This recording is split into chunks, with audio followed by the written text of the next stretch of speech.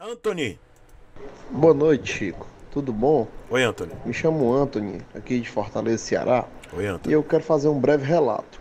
Tá. Recentemente adquiri uma Honda Hornet 2010 e está sendo totalmente o contrário do que as pessoas dizem. Não é uma moto de manutenção cara, ela não costuma me dar prego. Foi uma das melhores aquisições que eu fiz. Você tem algo aí para complementar?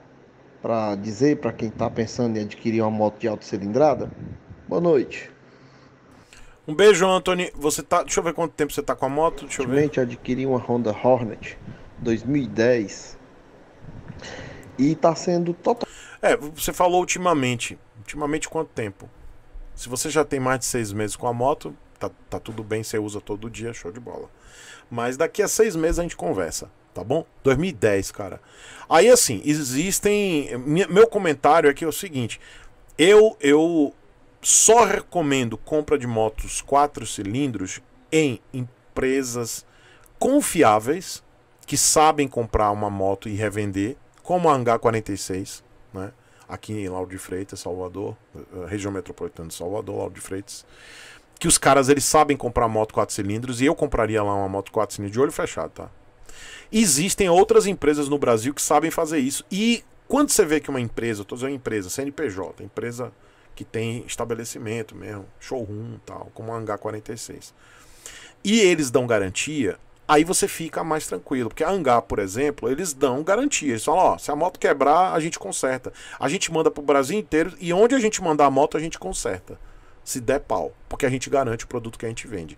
Quando a empresa é assim, aí, velho, os caras sabem comprar moto porque eles sabem que é bomba, velho. Comprou moto 4 cilindros sem referência, é bomba. É BO, é dor de cabeça pra empresa, é processo. É, é um baralho. Quando você compra uma moto dessa no OLX, sem conhecer o proprietário, sem ter noção de nada, meu irmão, é roleta russa. É botar uma bala no tambor e girar. E fazer. Entendeu? Aí sim é loucura.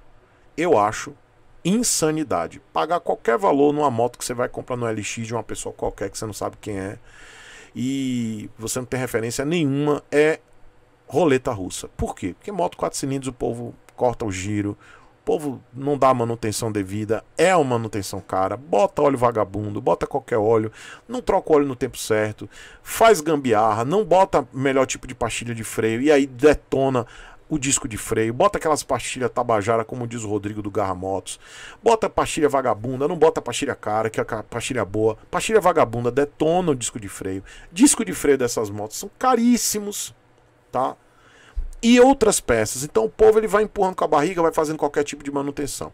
Então quando é para comprar no LX com desconhecidos, não recomendo. Mas se você vai comprar em empresas sérias, como a Hangar que eu falei e outras que existem, aí beleza, a empresa dá garantia. Ou quando você compra com uma pessoa que você conhece, tem referência, é amigo de um amigo, que o amigo diz, pô, cara, eu conheço a moto, o cara comprou, o cara é segundo dono, o cara tá quatro anos com a moto, nunca quebrou, o cara cuida. Aí é outra situação, aí você sabe a referência. Se quebrou, você vai lá e fala, pô, meu irmão, o que, que houve aqui e tal. E até a referência de amigos seus. Eu não sei como foi que você comprou, tá? Mas se você comprou com uma pessoa que você sabe a referência, beleza. Você sabe que o cara cuidou da moto. As eu já tive algumas motos quatro cilindros. Todas, todas eu comprei com referência, todas. Todas eu comprei com uma pessoa com referência, com pessoas que eu tinha referência. E nunca tive problema, nunca, nunca perdi um motor na minha vida. Eu nunca perdi um motor na minha vida, nunca, cara. E olha que eu já tive Bandit, já tive, eu tive mais moto quatro cilindros da, da Suzuki. Então eu já tive tudo quanto é moto, cara. E eu nunca perdi um motor na minha vida. Por quê? Porque eu sabia que os caras eram coxinha na hora de cuidar da moto. Gastava dinheiro. E já tive muita moto velha, cara. Muita moto velha. Mas eu sempre tive muito, muita cautela para comprar.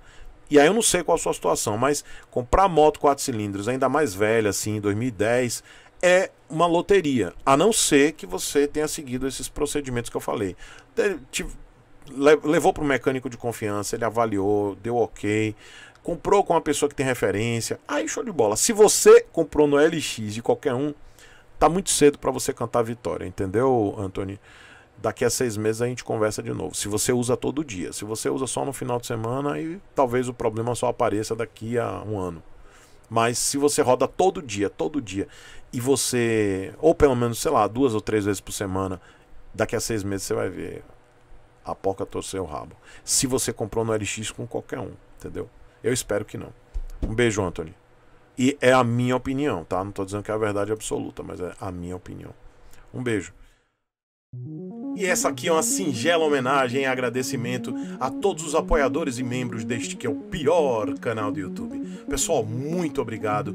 O nome de todo mundo está aparecendo aqui agora e vai aparecer no final de todos os vídeos desse canal aqui.